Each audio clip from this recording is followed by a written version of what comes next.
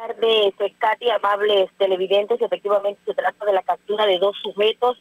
eh, por el homicidio de Ramón Alonso Pití, de 56 años de edad, alias Mon, quien fue presuntamente asesinado por equivocación, momento en que se mantenía en compañía de un menor de edad, quien era el blanco de los homicidas. Las dos capturas se realizaron en la provincia de Chiriquí, específicamente en el distrito de Olega, una de ellas donde eh, pues este da la captura de un menor de 16 años de edad, mientras que un adulto de 18 años de edad también fue aprendido en el área de David por el delito contra la vida e integridad personal, hecho ocurrido en días pasados en el corregimiento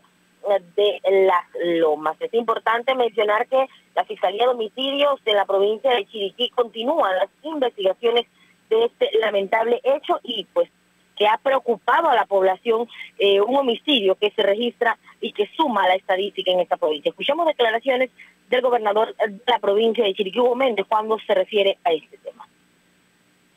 de que se ha dado con la, aprehensión de un ciudadano que aparentemente se ha visto involucrado en el hecho registrado en el sector de, Las Lomas. Eh, no podemos eh, hacer mayor comentario para no afectar las investigaciones, pero eh, al igual que de los otros casos que están registrados en la provincia de Chiriquí, siempre ha habido un esfuerzo por parte del, Ministerio Público y todo lo que le corresponde ver en materia de seguridad para dar con la captura de estas personas que lamentablemente ocasionan estos hechos en la provincia de Chiriquí.